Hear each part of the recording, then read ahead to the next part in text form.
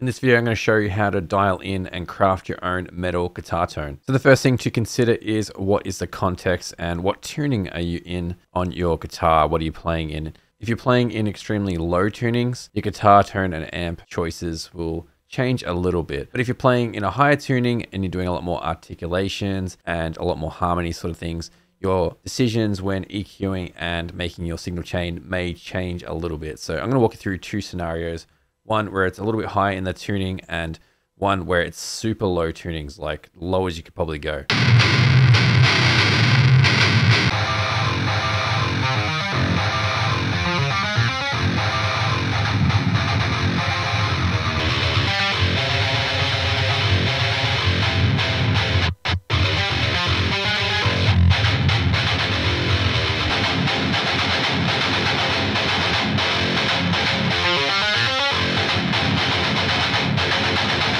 This is one track here I've got. You just heard the guitars and there was three different amps I was using there. And you can see the tones varied slightly. I've got three amps that I'm using and I've got a set of cabs that I'm using for one set as well. You don't need to buy any of these things. You can use all free plugins. I did a video if you want to check it out just up here in the cards. If you want to check it out, how to get a free metal tone that actually sounds pretty good and comes with some pretty cool IRs that sound nice as well. So you can follow along if you don't have anything you can just try those ones for free and get a sound and do the similar thing in this video. So the amps that I got in this example, the first one was a Fortin and the second one here is Neural DSP and this one's Archetype Petrucci. I'm just using the amp here. I've turned the cabinet off on this one and also I've turned the cabinet off for the Fortin plugin as well. So the cabinets I was using for those two amps is the Cali oversized amps by Get Good Drums. In the third guitar, I had these all turned off and I just had STL Tones Tone Hub turned on They've got their own amps and cabs modeled into the plugin here and it's all built in. So with the tone hub, you can't turn the cabinet off. So I just ran that through their cabinet here. I had the PV amp, the 6505, and the cabinet here is EVH 2x12. The reason I have three amps, I'm just showing you that you can use multiple amps to get the same sort of signal chain and you can kind of combine different amps and different cabinets as well if you want to kind of mix it up and get a different tone for yourself. With the exception of Tone Hub where it's sort of the cabinet and the amp baked in. But you can still do some tweaks to it as well if you want to. So there's still some customization which I will show. So the first thing I always like to have is a compressor in the signal. I'm just using the free Reaper one here. Depending on your amp sim, it may not come with a compressor or any pedals. This amp sim by Neural DSP the Fortin one doesn't have a compressor plugin on it, but this Archetype Petrucci one does. It has a compressor here, which I just bypass, but you could use that if it's built into your amp sim. Same with STL Tone Hub. If you go to the stomp box here, it has a compressor which you can use, which is bypassed on this one as well. If I'm playing in a lower tuning and also pitching down on the guitar, I like to compress a fair bit because you kind of lose a lot of signal and clarity as you go a little bit lower. The second in the chain here, I've just got an EQ. I've just got a preset here. It's this one that cleans up distortion, but this is a move that I would do anyway. It's rolled off here about 92, so you can adjust this depending how low the guitar is, but you'd have to adjust this the lower you go. So on this tuning here and drop F, it's pretty good at 92 right how it is.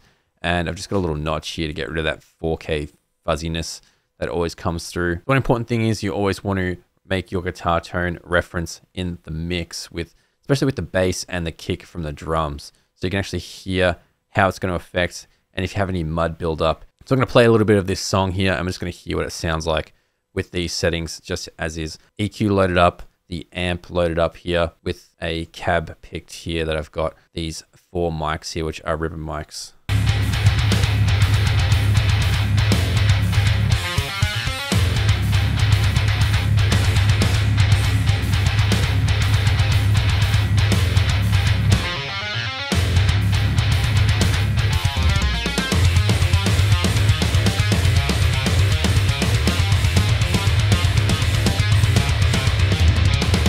Starting off, that's pretty good. It's gelling pretty well with the other instruments there, especially the bass and the drums. So next in the signal chain, if we open up this plugin app, it runs the chain through the top here. So we can see the very first one here is going to be our pedals. So obviously our pedals go in before the amp. So this is where you want to add some boost pedals or any distortion pedals. So I've got here a noise gate set on this one.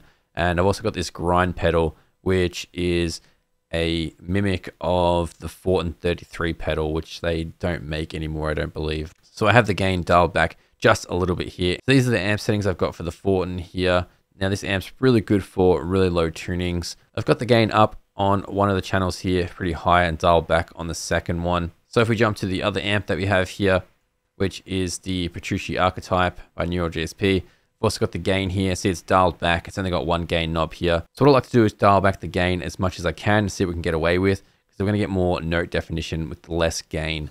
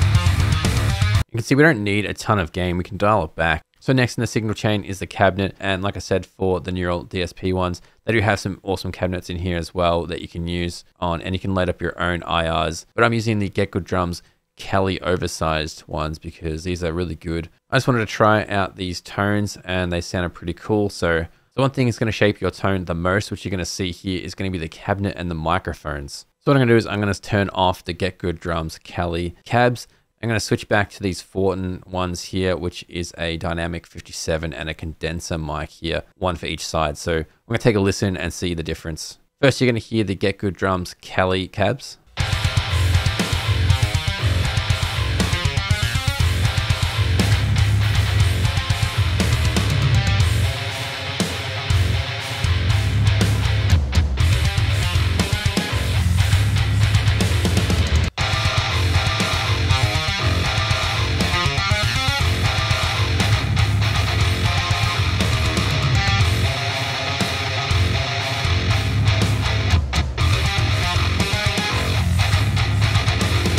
Going to see with that change there, it's going to affect how the tone is. So that's one of the biggest things to consider when you're trying to dial in and pick your tone is think about the cabinet choices and the IRs you want to use and those microphones. So hearing that, I could hear some things that I want to remove and sculpt with an EQ.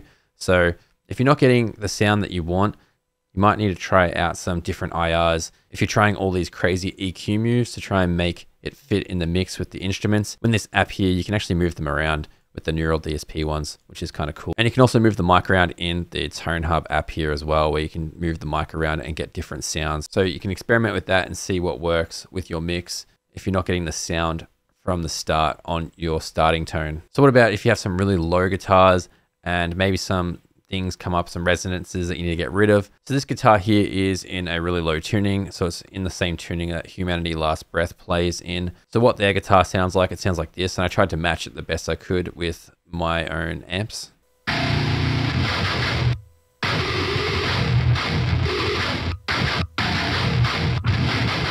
So super low, crazy and compressed sort of guitar tone. And there's a lot of issues that can happen trying to mix super low guitars, especially pitching them down as well that low. So I just played some stuff on the guitar and tried to match the tone as best as I could. So this is what it sounds like.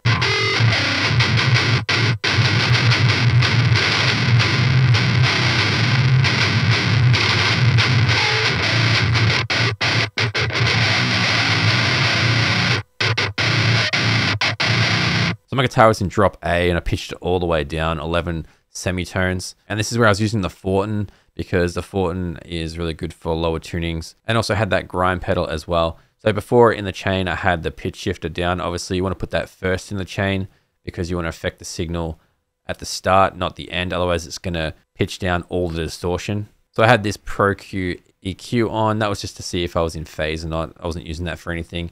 But I do like to EQ some of my DIs at the very start of the signal sometimes.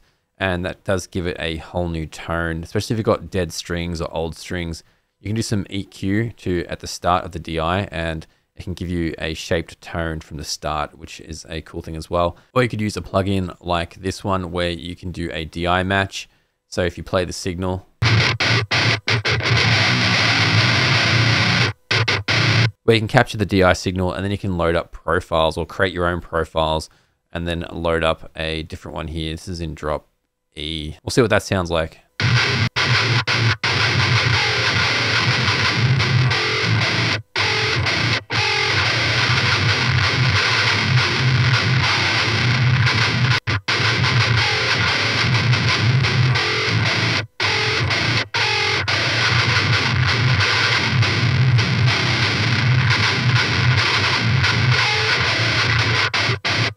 It's already super high gain on this one, so it's giving it a bit more gain on this app.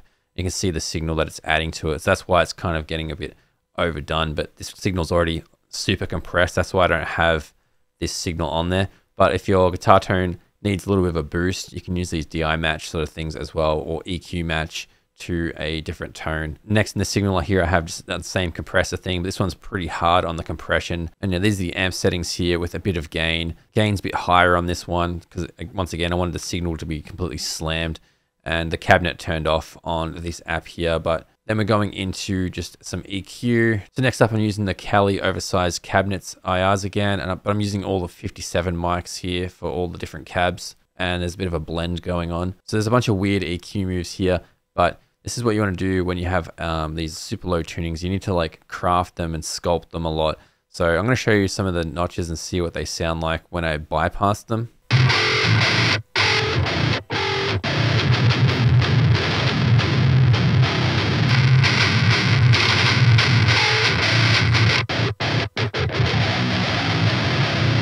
You can see like when they bypass the whole entire EQ, it just gets really muddy which is pretty typical when you're working with super low guitars because it's basically working like with a bass.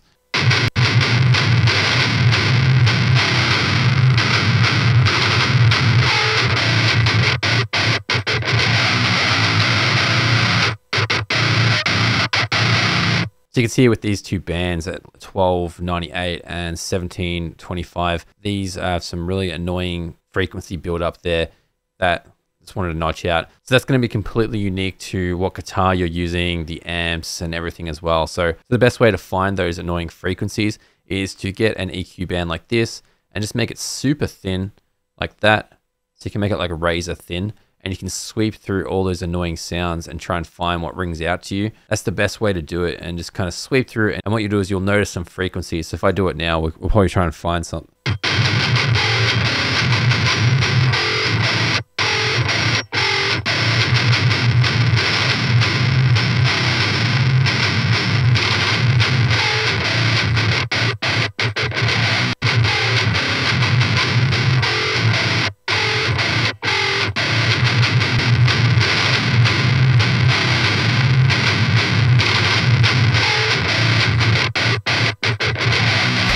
So you can see even just adding that little move there at that 5,000, that even got rid of some hiss, which may not be a problem right now, but it could be a problem with the mix with, you know, the cymbals and the vocals and everything else. So you just want to keep that in mind when you're trying to craft your guitar tone. So when you get to the end of the chain, you can just experiment with some EQ moves to see where you like boosting some things because you've cleaned up the signal and you can add some more broader EQs to kind of give it some lift if it needs some air up in the top or if you need to cut some of the low mids if it's getting too muddy and clashing with the bass. So that's the basic signal chain that I like to use when I craft my guitar tones and the process I go about it when I try and sculpt a guitar tone from a raw guitar tone to one that I like to work with within a mix. So, so if you want to see some more stuff like this, be sure to subscribe if you're new around here and I'll see you all in the next video.